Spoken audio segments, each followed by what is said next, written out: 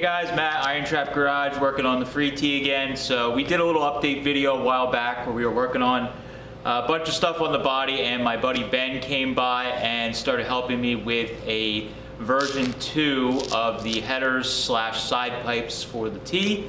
And he and I have been working on this back and forth for actually a little while. His schedule uh, doesn't always match up with mine, so we get a couple hours here and there for him to tinker on it. Uh, I've just been kind of guiding him with the vision that I've had on it. He's been doing a lot of the, um, the hard work of cutting and fitting all the little pieces to get it all flow around the body. Uh, he's going to bring all those pieces back today, and we're going to hopefully get uh, this whole driver's side all mocked up today and tacked in place. Get a little mount made for the back side that will bolt it to where I already had a rubber mount in the body and uh, we can finally make a decision on how we're going to cut the rear portion of the pipes and, and end the exhaust uh, on the car. And uh, hopefully we'll have a really cool side view by the end of the video. We can get you some kind of a better idea what the silhouette of the car is going to look like. So let's get started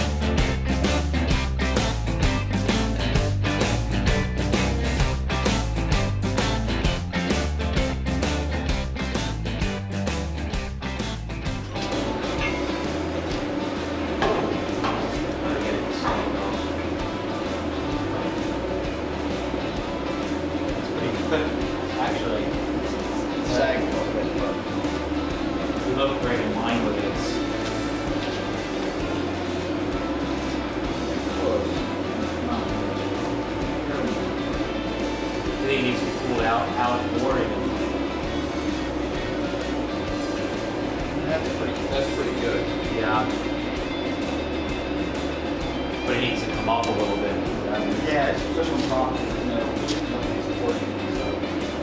So put a block under it and then space it out.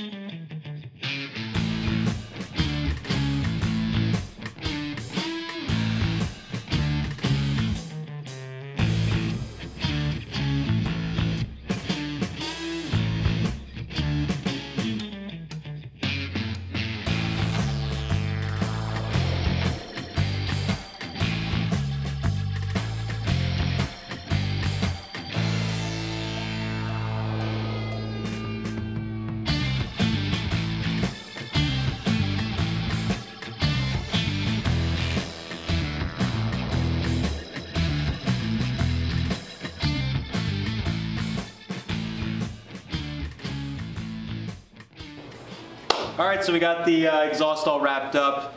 Ben put in a bunch of different days here working on exhaust with me. Uh, I kind of was just taking a look at it and trying to follow my vision. He did a lot of the, uh, all the hard work of, of cutting all the little pieces and making everything fit really nicely. Everything's kind of tacked in place. Uh, we got a little brace in the back that's tacked up so it's bolted into the frame in the same location that I had used earlier for the original set of headers. The new ones are bitchin'. They're awesome. They uh, they just look super cool. When we had the pipes really long, I was kind of unsure of it, and as soon as we cut them down at this angle, it just gave it such a killer look, and I'm really happy with it. It's a little on the wild side for uh, an early car like this, but if you look at a lot of the old dry lake photos and uh, the photos of the early, like let's say late 40s, early 50s, show cars, show and strip or show and dry lake cars where guys were using them for dual purpose. You did see a lot of guys doing kind of extreme wild exhaust to make their car stand out and for different things when they were testing performance, they thought different types of pipes work better. So I think this kind of uh, pays homage to that. It's just a little higher quality than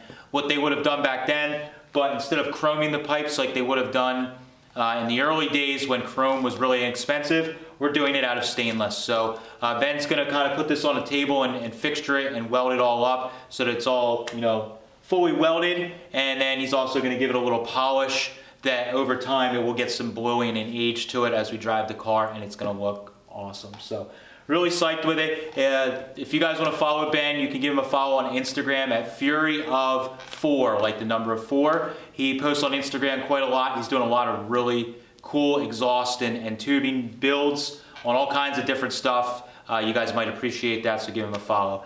That's all I have for this one. Uh, you guys can uh, subscribe and follow videos on Tuesdays, Fridays, and Sundays to see everything that's going on. And definitely drop us a comment. Let me know what you think of the new exhaust. Is it better than the old one? Too wild? I'd love to hear what you guys have to say. Thanks, guys. Catch you later.